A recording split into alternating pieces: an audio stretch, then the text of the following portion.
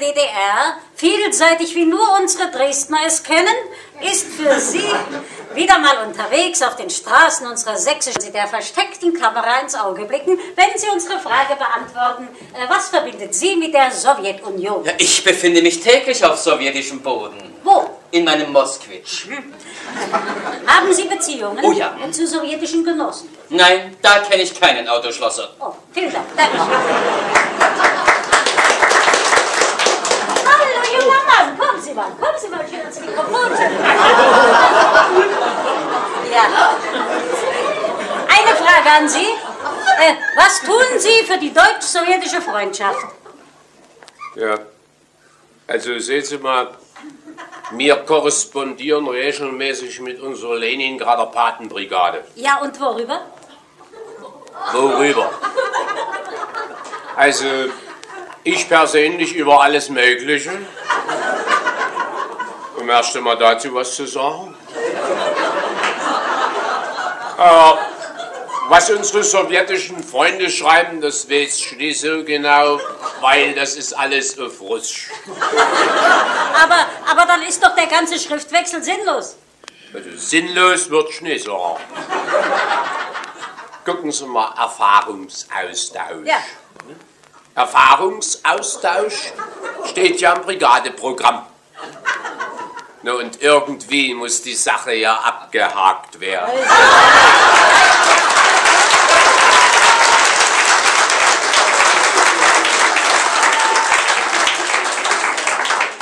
Ja, Herr Professor, schönen guten Tag. Na, heute zu Fuß? Du, ich habe mich schon gewundert, dass ich so langsam vorwärts komme. Herr Professor, Herr Professor, einen Augenblick, ja? Möchte Sie fragen, wie Sie die Arbeit der sowjetischen Wissenschaftler einschätzen. Oh, mit Hochachtung, mit Hochachtung. Auf unseren letzten Tagungen in Genf und Tokio konnte ich feststellen, dass die sowjetischen Kollegen Außerordentliches leisten. Und wenn ich diese Tage nach London fliege, Ja, in die Sowjetunion reisen Sie nie. ja, das machen meine Mitarbeiter.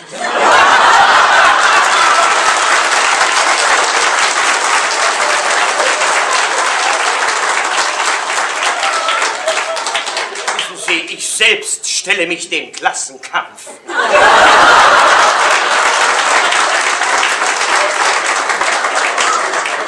Ach bitte, äh, was wissen Sie von der Sowjetunion? Oh, ich bin selbst Russe.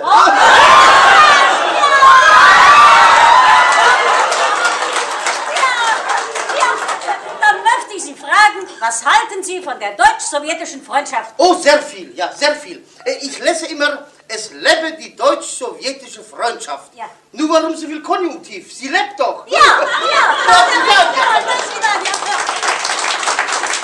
Hallo Jugendfreundin, guten Tag. Sag mal, hast du Beziehung zur SU? Ehrensache, 28 Jugendliche aus unserem Betrieb fahren zum Bau der Erdgasleitung an der Trasse.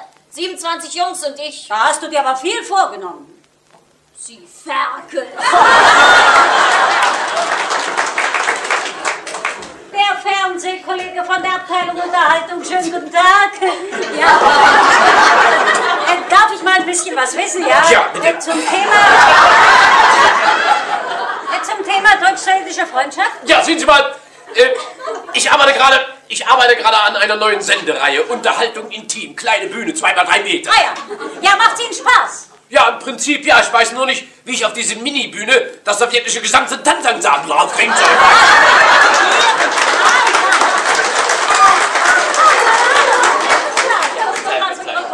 Ja, da hätten wir bald den Kollegen von der Reichsbahn verpasst. Sicher werden bei Ihnen auch sowjetische Neuermethoden genutzt. Ja, natürlich, natürlich.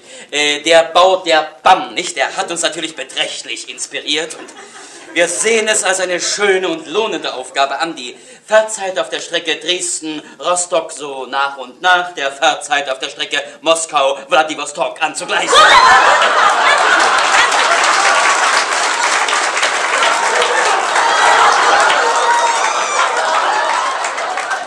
Nun auch eine Frage an Sie, ja? Äh, Neuermethoden genutzt? Naja, also wir stellen doch im Großen Gotten die Bänke offen. Aber Schön, ja. Na, und da arbeiten wir nach der Kasach-Methode. ja das, das heißt also, durch bessere Pflege die Lebensdauer erhöhen. Ja, ja, unsere Bänke halten jetzt doppelt so lange, ne? Wir stellen aber bloß die Hälfte auf.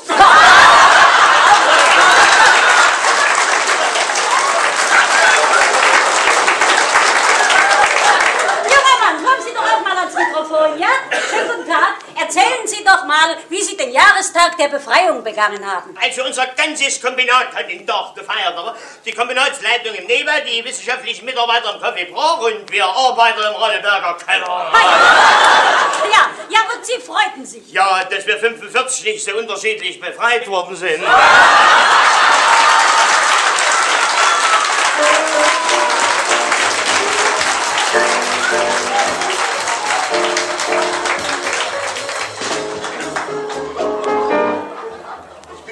und beglückwünsche Sie zu Ihrem Entschluss, einen Bauberuf zu erlernen und überreiche Ihnen die Broschüre Der Bauberuf, ein Beruf mit Zukunft. Aber eigentlich Ja, ich ja, ich weiß, ich weiß, wo ein Wille ist, ist ein Weg, der nächste, bitte.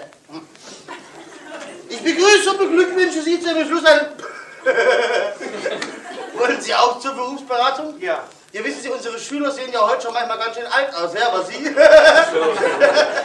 Ich wollte auch zur Berufsberatung. Wissen Sie, ich komme... Vom Ministerium für Volksbildung. Äh, Nein, nein, nein, ich komme wegen meines Sohnes, wissen Sie.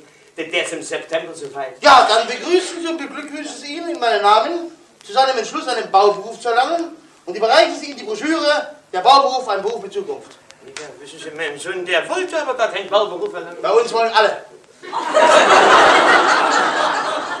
einen Bauberuf erlernen. Oder gibt es eine neue Instruktion? Ich weiß nicht. Sie, mein Sohn, der interessiert sich mehr für die Chemie. Ach, ich verstehe, ja. Chemie, Schönheit, Brot, Wohlstand und so weiter und so weiter. Nicht mehr aktuell. Ja, vor zehn Jahren. Aber heute höchstens einer von 100 und nur mit ausgezeichneten schulischen Leistungen. Also daran soll es nicht scheitern. Wenn Sie sich mal das Zeugnis ansehen wollen, ich habe es hier mal mitgebracht. Sehen Sie mal, eine Eins in Chemie, eine Eins in Physik, eine Eins in Mathematik. Aber der Sport. Im Sport eine 4. Er will ja nicht Trainer von Chemie Leipzig werden. Sondern Chemiefacharbeiter, wissen Sie, mischen, probieren. Na, da ist doch am Bau genau richtig. Ein Eimer Kies, ein ein Eimer Zement, ein Eimer Wasser. Er will aber unbedingt Chemiefacharbeiter sein. Aber nicht mit dem Zeugnis. Und hier, Musik eine 5. Das gibt einen Durchschnitt von, von, von 2,3. Na und? Für Chemiefacharbeiter braucht er mindestens einen Durchschnitt von 1,9. Ich dachte immer, die Eins in Chemie wäre entscheidend. Entscheidend ist der Durchschnitt. Das erinnert mich ein bisschen an ein altes russisches Sprichwort. Dort heißt es, der Dorfteich war im Durchschnitt einen Meter tief und trotzdem ist die Kuh ersoffen.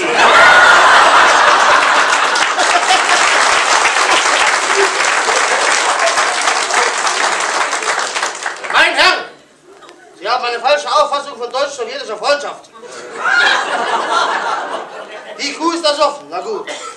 Aber wir übernehmen die Erfahrungen der Sowjetunion nicht einfach schematisch, sondern dort, wo wir sie brauchen. Hm.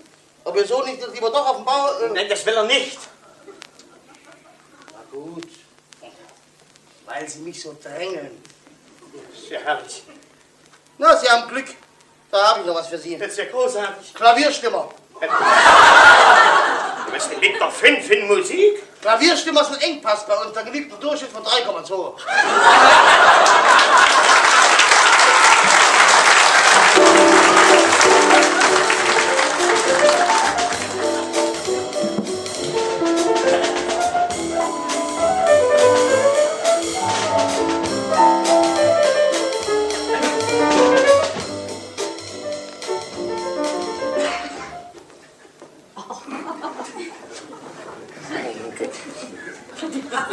Hab ich ein Glück, wieder so ein Schönbild zu finden.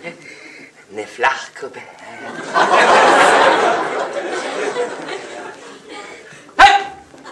Betriebsschutz Ihren Ausweis. Wieso Ausweis? Sagen Sie mal, was schützen Sie denn hier überhaupt? Unsere Anlagen. Welche Anlage? Die Anlagen des VEB Krananlagen und Büchsenöffner. Das ist aber komisch hier. kleinen Loch in Büchsenöffner. Es gibt ja auch große Büchsen. Das meine ich doch gar nicht. Aber gucken Sie mal, der Betrieb, der existiert doch hier gar nicht mehr. Der ist doch schon vor drei Jahren hier nach Umstrukterode verlegt worden. Weil man hier eine Neubauwiese anlegen wollte. Wie meinen Sie, das wüsste ich als Betriebsschutz nicht? Schließlich lese ich Zeitung. Jetzt verstehe ich. Ja. Sie sind bei der Verlegung hier vergessen worden. Da, da haben Sie erst durch die Zeitung erfahren, dass Ihr Betrieb gar nicht mehr hier ist.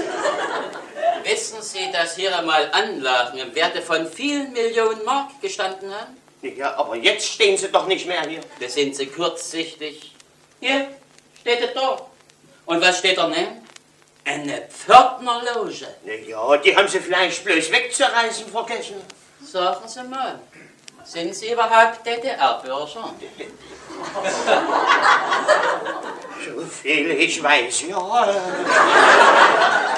Dann müssten Sie auch wissen, dass eine Pförtnerloge bereits eine Dienststelle ist. Ja, aber das ändert doch nicht daran, dass sie hier jetzt sinnlos geworden ist. Die Existenz von Dienststellen hängt nicht davon ab, ob sie sinnvoll sind oder nicht.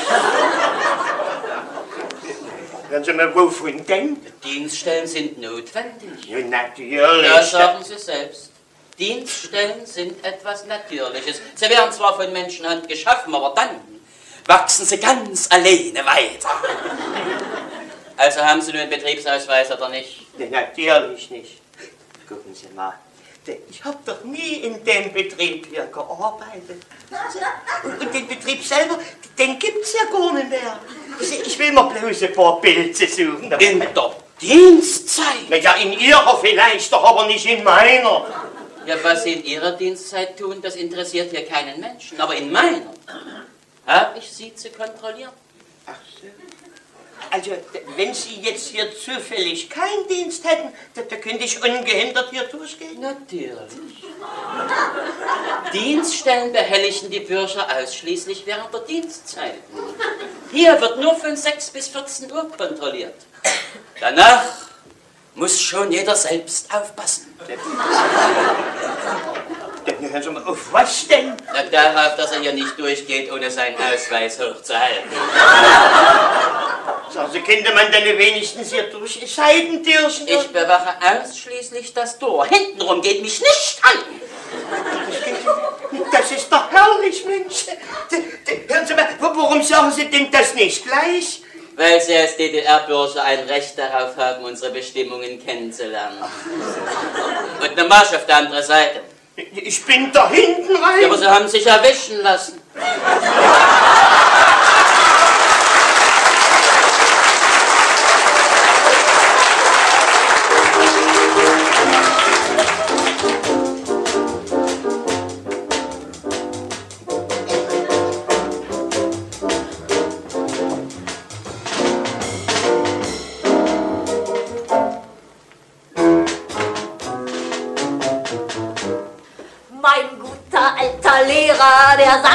Mir einst, red bloß nicht solchen Stuss daher, sag deutlich, was du meinst.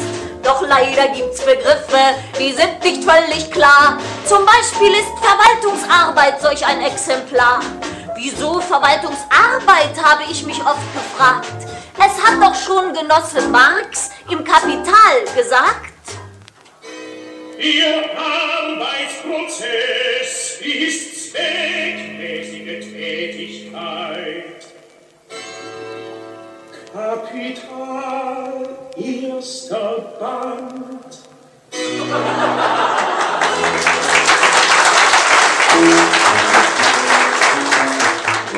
Der Chef nimmt zu einer Tagung die Sekretärin mit. Die ist zwar fachlich grad kein Ass, ansonsten aber fit. Er lädt sie ein zum Whisky am Abend im Hotel. Dann spricht er sie mit Mäuschen an und dann geht's ziemlich schnell. Als das die Frau des Chefs erfuhr, da war sie ganz verzagt. Doch ihr Herr Gatte meinte nur, wie hat schon Marx gesagt? In der gesellschaftlichen Produktion gehen die Menschen bestimmte, notwendige, von ihrem Willen unabhängige Herr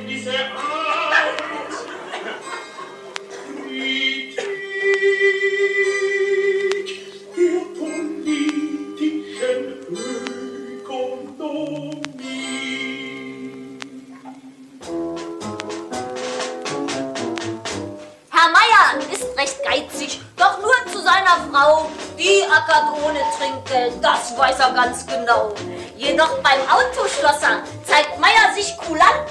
Dem drückt er einen Zehner nach dem anderen in die Hand. Und wenn Frau Meier dann irgendwann zu protestieren wagt, spricht Meier nur, verehrtes Weib, schon Erich hat gesagt. Jede Mark ist so anzulegen, dass sie den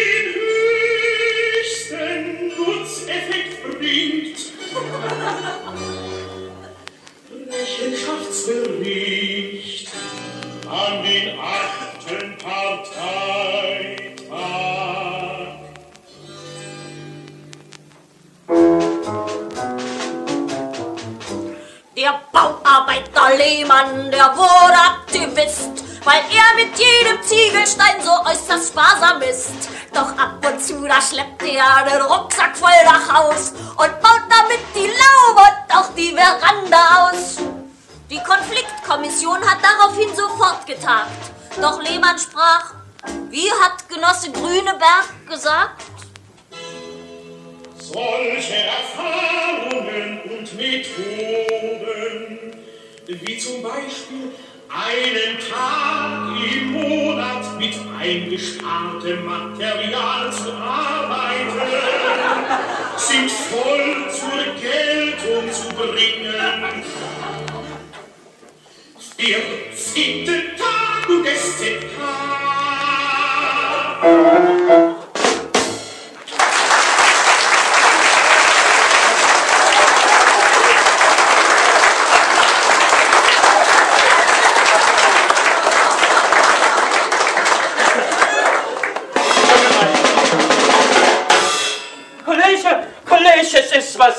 Passiert. Kollege, nach den Gesetzen der Dialektik passiert immer was. Es gibt keinen Stillstand.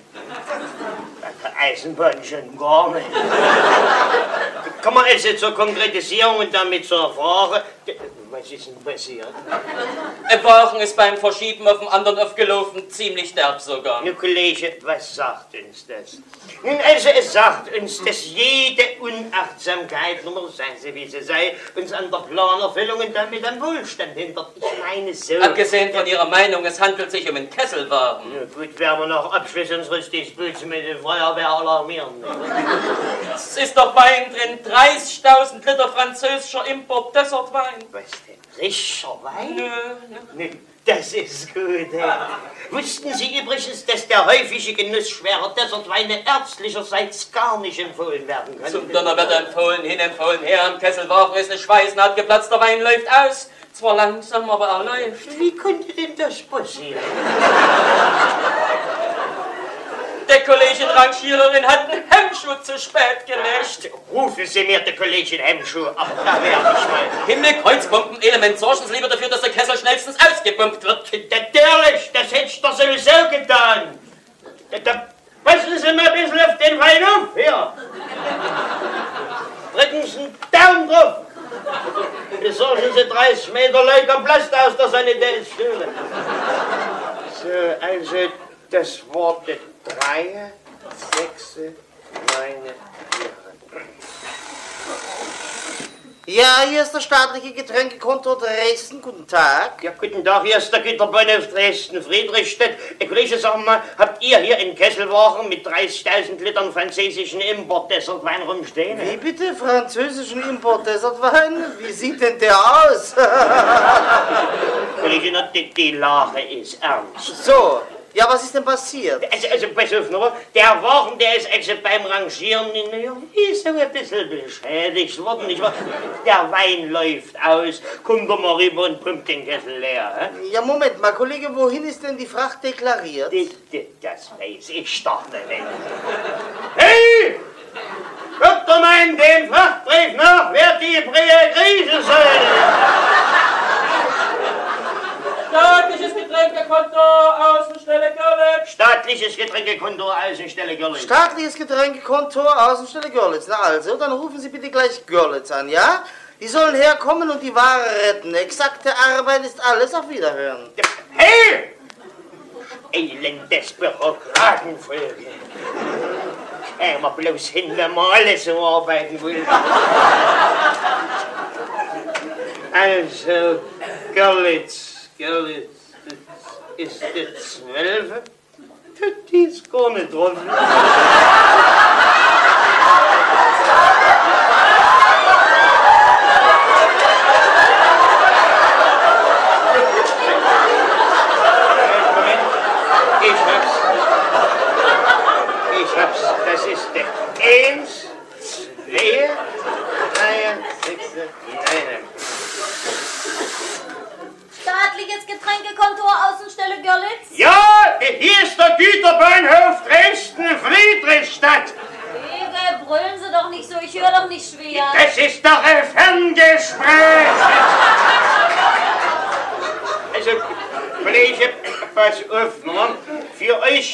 Auf 1905 für Kesselwagen mit 30.000 Litern französischen Import. Hurra, es lebe die Pass auf, ne?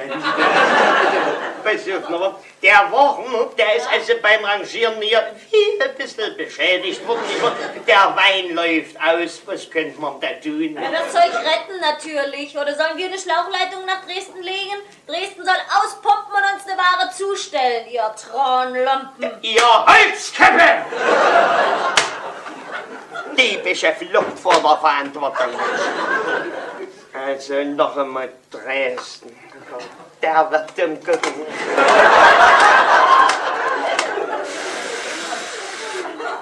Ja, hier ist der staatliche Getränkekonto Dresden. Guten Ja, Tag. ja, auf, hier ist noch einmal der Güterbahnhof Dresden, Friedrichstadt. Äh, Pass auf, Kollege, ich habe jetzt gerade mit der von Görlitz gesprochen und die sagte wieder, ihr sollt auspumpen. Wir sollen auspumpen. Sowas muss man doch schriftlich machen, nicht wahr? Mensch, ihr elendes Bürokratenvolk, kümmert euch aber mal gefälligst selber. Also Moment mal, mein lieber Kollege. Ja, was wird denn mit dem Wein? Wer bezahlt denn die Transportkosten? Ja, wir stehen doch im Wettbewerb. Hallo? Der hat aufgelegt. Na, warte, du Knilch. Der Bäm vergessen.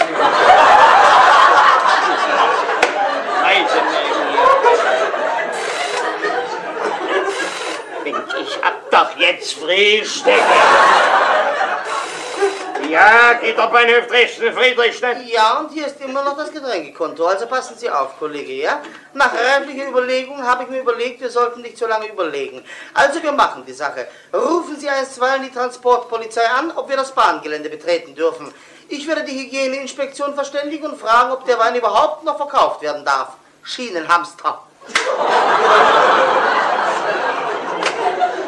Naja, jetzt geht's vorwärts.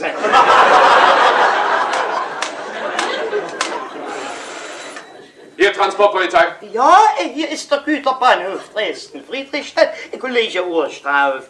Äh, Bei uns auf dem Bahnhof, da ist so ein Kesselwagen mit 30.000 Litern französischen Importdessertwein, ja, wie so ein bisschen beschädigt worden, nur äh, der Wein läuft aus. Wer hat das getan? Agenten? Nein, nein, nein. Eine ganz kleine Rangiererin. Sind Sie sicher? Ganz sicher. Es handelt sich auch bloß um die Genehmigung zum Betreten des Bahnhofsgeländes. Sehr einfach, üblichen Antrag in dreifacher Ausfertigung mit ausführlicher schriftlicher Begründung. A, warum Wein aus Frankreich? B, warum nicht andere Strecke? C, wieso Rangierfehler? D, wie ist der Name des Schweißers, der den Kessel schweißte? E, wie hätte vorliegende Sache verhindert werden können? Wie war gleich C? C, wieso Rangierfehler? Aha, wirklich, äh, es ist bloß nur der Wein trippelt inzwischen aus. Richtig, fügen Sie unter F hinzu, wie viel Liter Verlust pro Minute. Ende. Ah, das das hier. Die Trippeln zählen!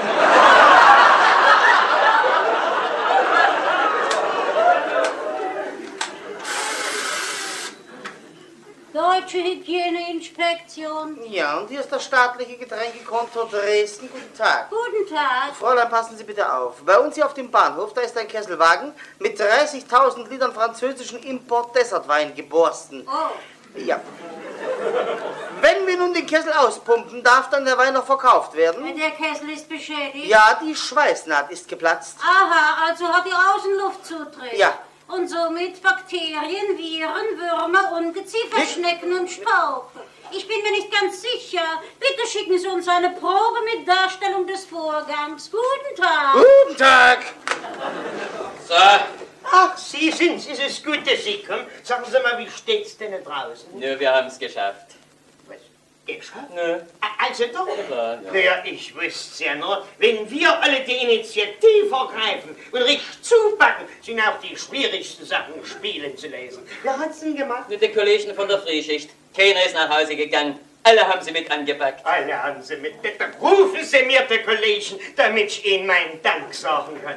Das geht leider nicht. Die sind alle besoffen.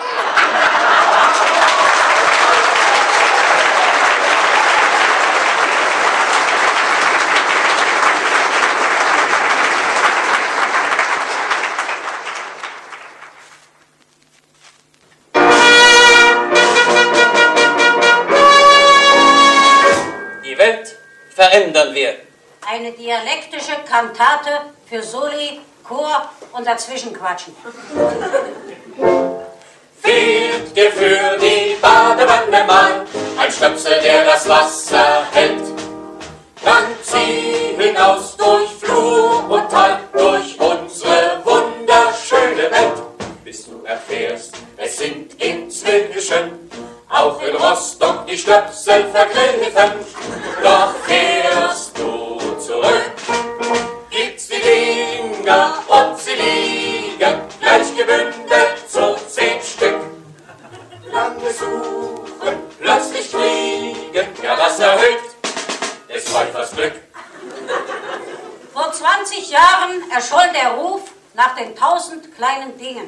Doch der historische Materialismus lehrt uns die Geschichte der großen historischen Veränderungen. Heute erschallt der Ruf nach Konsumgütern. Die Bezeichnungen kommen und gehen, aber die Versorgungslücken bleiben.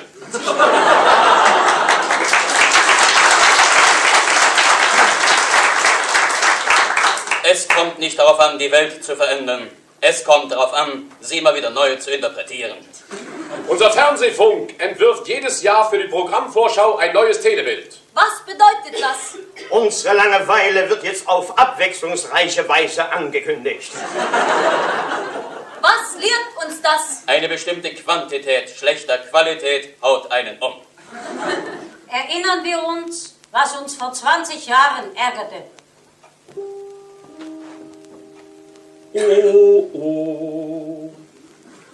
Ober gab es nie nicht Carmen, Raudis fielen aus dem Rahmen, Frauen wurden schlecht gefördert und per Sitzungszeit gemördert.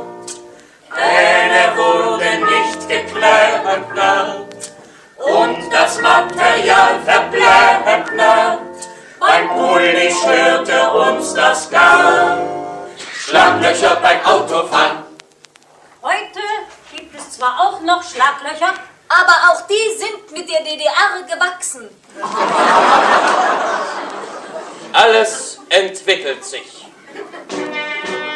Ihr Käufer in den Selbstbedienungsläden, vergeblich suchen den Käse, wo immer er lag. Regal vorn links unten. Flucht nicht so ein Käse. Bedenkt, studiert hat der Kaufhallenleiter Marxismus. Wissend also, alles entwickelt sich vom Niederen zum Höheren. Der Käse liegt jetzt einfach weiter oben.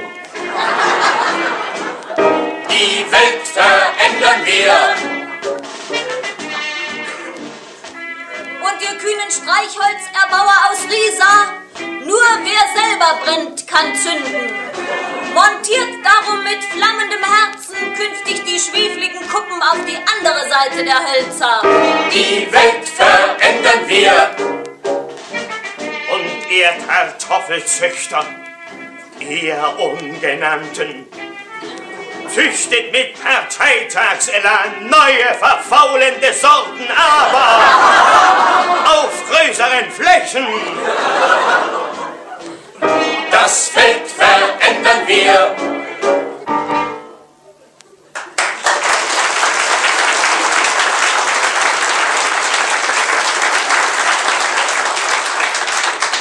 Schon Heraklit sagte, man kann nicht zweimal im selben Fluss baden. Wie meinte er das? Dass wer einmal in der Elbe badet, es nicht ein zweites Mal tut.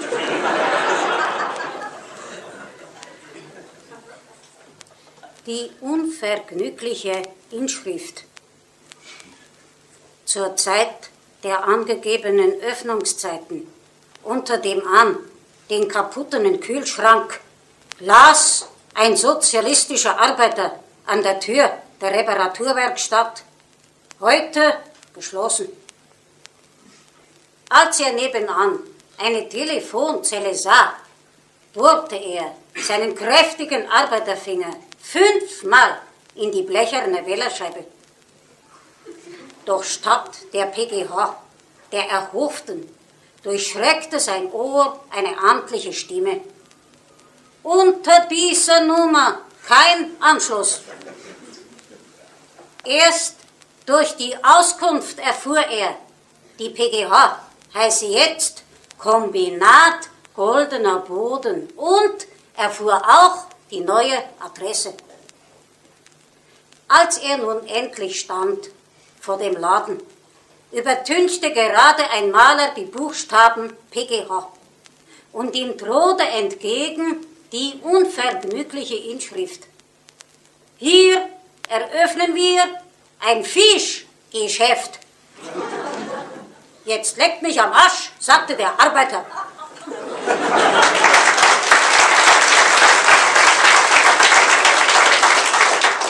Die Entwicklungsgesetze sind objektiv.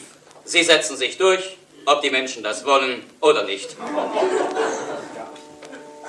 Dreh, dreh, dreh. Dresden Straßen, deine Zeichen wirken revolutionär.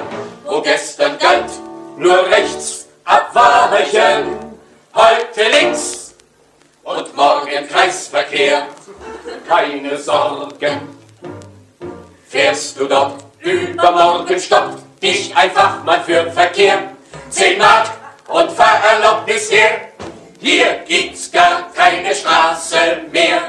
Die war bis gestern Abend hier. Denn die Welt verändern wir, verändern wir.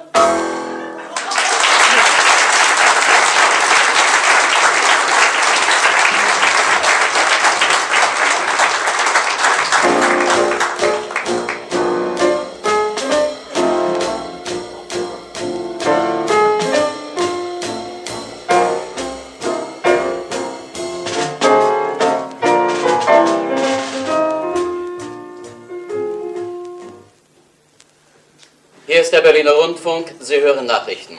Stimme der DDR, Sie hören Nachrichten. Radio DDR, Sie hören Nachrichten.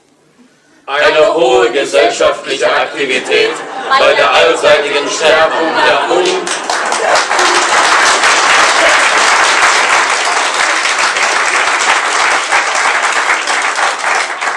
verbrüchlichen Treue zur revolutionären Herausbildung allseitig entwickelter sozialistischer Persönlichkeiten Forderte auf einer Pionierveranstaltung in Kleinmutz der erste Sekretär der Kreisleitung der FDJ, Ewald Altklug. Er richtete ferner einen flammenden Gruß an alle glühenden jungen Sozialisten, deren erstrangiges Anliegen es sein sollte, Die real existierende Aufgabenstellung von historischer Größe tief in ihre heldenmütigen Herzen zu pflanzen. Verzeihung. Nach fünftägigem Besuch in der DDR trat gestern eine Delegation vom Zentralflughafen Berlin-Schönefeld aus die Heimreise an. Die Delegation hatte mit führenden Vertretern von Partei und Staatsführung der DDR Fragen von gegenseitigem Interesse geführt. Dabei wurde in allen Punkten volle Einigkeit erzielt.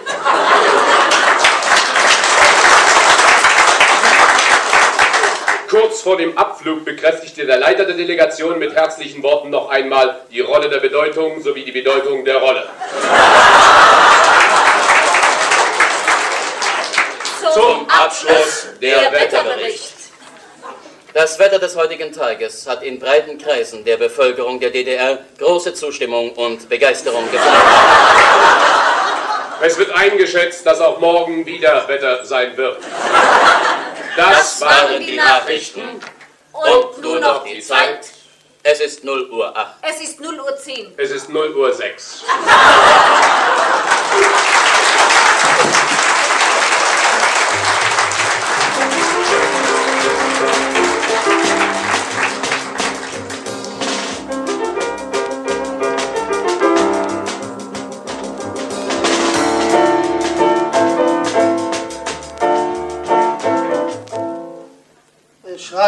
bitte.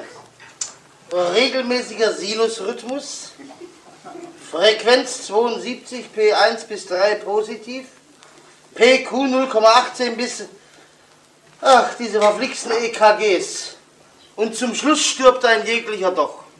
Aber Herr Chefarzt, erst nachdem wir alles Menschenmögliche versucht haben. Keine Übertreibungen, manche schaffen es auch ohne uns.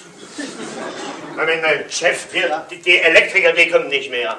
Die, die, die sind abgezogen worden hier für so ein volkswirtschaftliches Objekt oder was das heißt.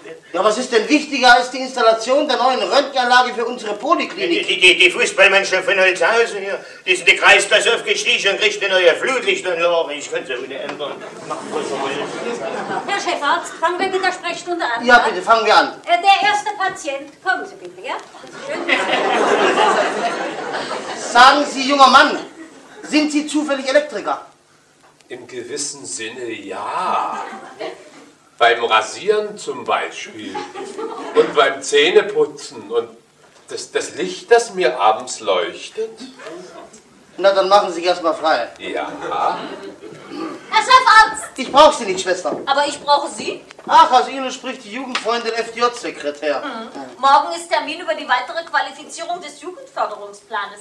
Ihre Verpflichtung, Herr Chefarzt. Ja, meine Verpflichtung. Äh, also ich verpflichte mich äh, zu weiteren zehn Vorträgen in FDJ-Grundeinheiten zum Thema Du und ich intim. Äh, Oberkörper frei!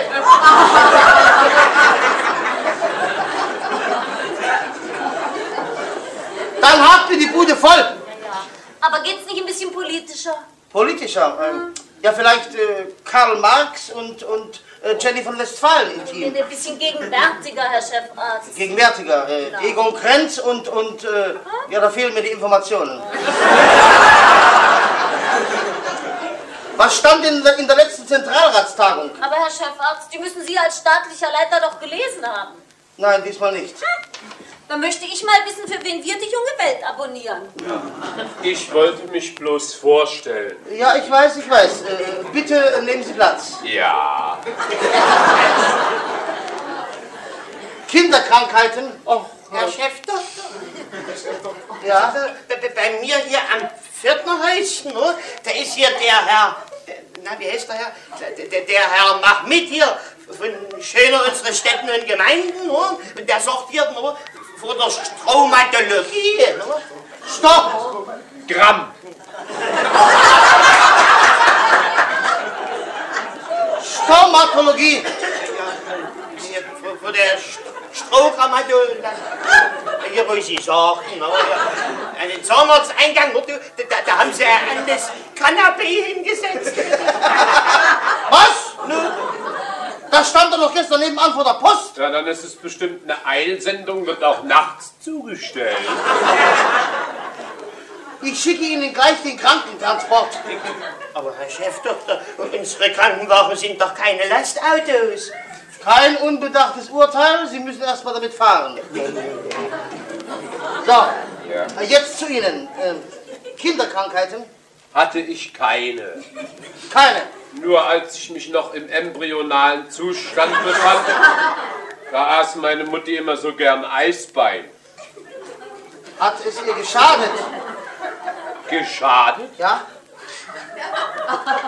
Nein.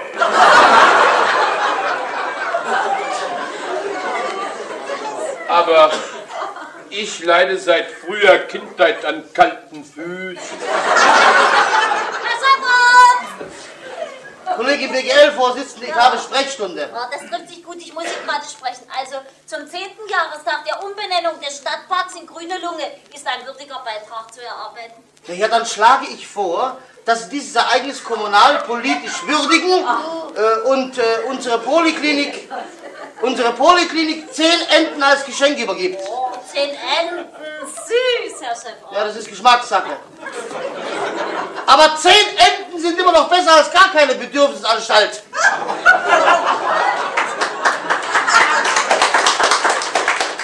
Was gibt's denn noch? Draußen wartet Klempner Meister Bauer. Sofort in die Massageabteilung. Da kommt kein Wasser aus den Rohren. Er, er kann seit gestern kein Wasser mehr lassen. Auf der Hand zu.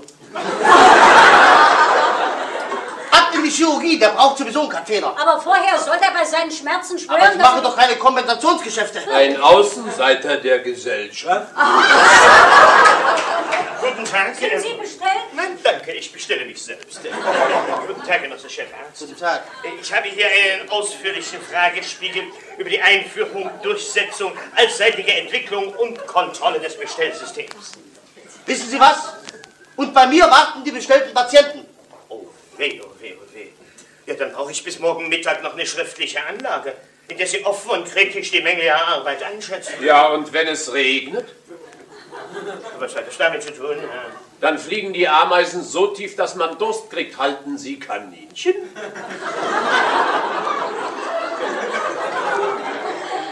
Nein, sagst du mal, warum? Ich nicht, ich halte die sächsische Zeitung, die kann man zwar nicht braten, aber wenn die Pioniere kommen, hat man immer ein bisschen Altpapier.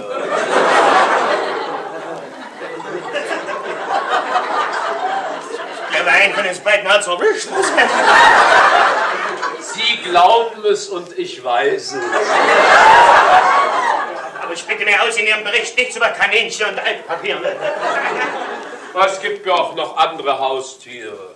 Äh, wissen Sie was? Äh, Ich werde Sie am besten gleich in die Psychiatrie weitergeben. Aber darum wollte ich Sie ja bitten. Hier, meine Visitenkarte. Was denn? Medizinalrat Dr. Nierenstein? Und da lassen Sie sich von mir untersuchen? Ja, ein Chefarzt muss seine Mitarbeiter auf Herz und Nieren prüfen. Ich verspreche Ihnen, die Patienten in der Psychiatrie werden mich bald als einen der Ihren anerkennen. Ein, ein bisschen übernimmt man ja immer von den Menschen, mit denen man umgeht. Wo waren Sie denn vorher beschäftigt? Als Chefarzt einer Poliklinik.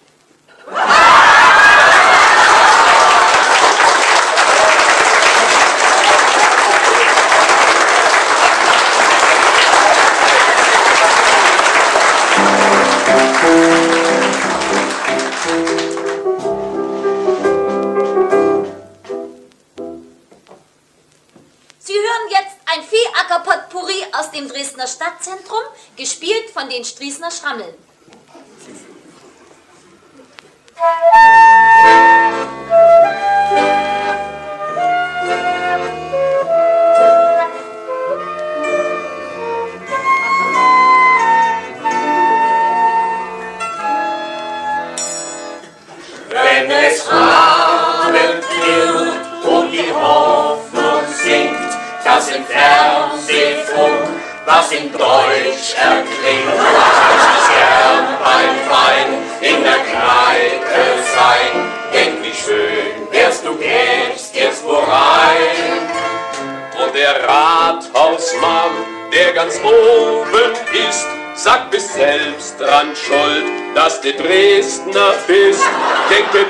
Nicht, du kämst morgen wo rein. Was der Parteitag nicht beschloss,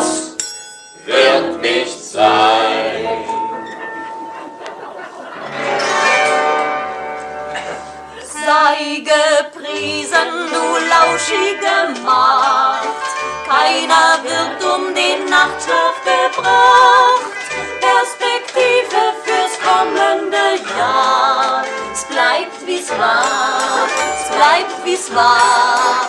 Und die Tische werden weiter garniert, mit dem niedlichen Schild reserviert. Und der Küchenchef macht um zehn Schluss. Er lebt längst schon im Kommunismus.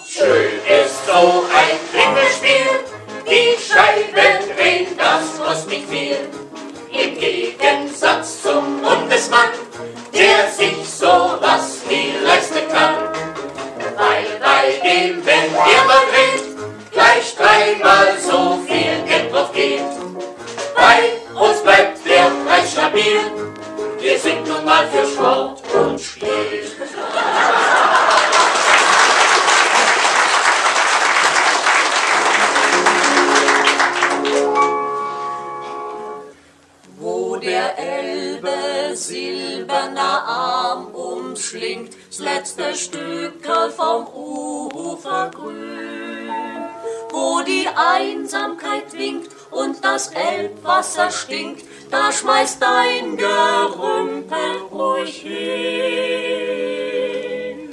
Als mir mein Madel wollt was zeigen, war's gut, dass ich unter den Zweigen am nassen Elbestrand ein paar Matratzen fand.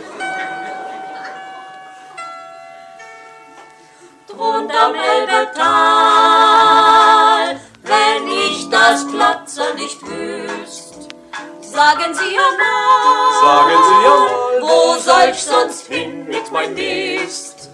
In Container steht hier keiner, darum kipp ich's in die Au. Denn bis zum Müllplatz schlepp ich mich tot, der ist in Leptau.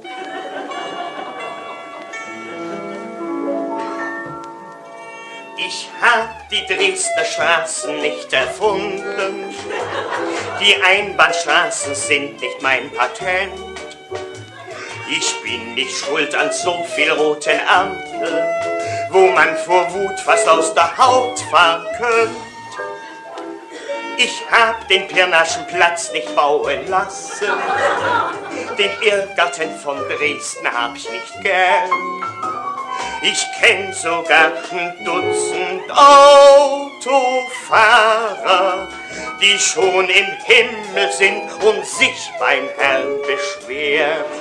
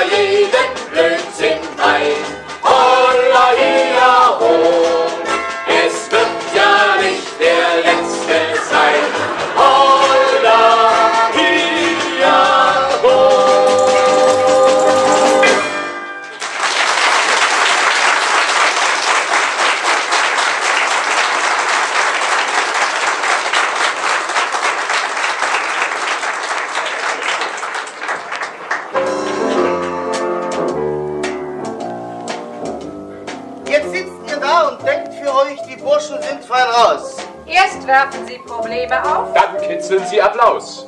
Jedoch die kleinste Anleitung, die haben Sie sich geschenkt. Aus gutem Grund. Wozu habt ihr ein Pfund Gehirn, das denkt? Der alte Knabe Herkules gehört nun mal nach Sachsen. Er hat die Keule wohl im Arm und hilft ein wenig mit, dass uns die faulen Früchte nicht